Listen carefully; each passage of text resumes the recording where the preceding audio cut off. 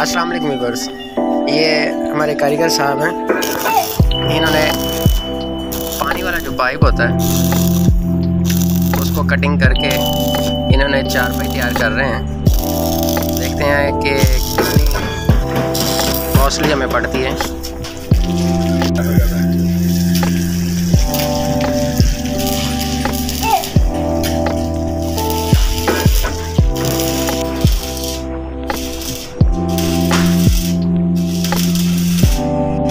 ये देखें नाजरीन ये इन्होंने चार पाइयों के पाए बना के रखे हुए हैं। इसके अलावा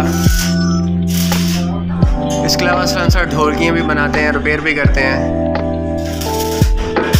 कभी आप विज़िट करें बिहाड़ी खाने वाला रोड में, ये मार्केट है। वहाँ पर हमारी शॉप है ये। थैंक यू अल्लाह हाफिज़।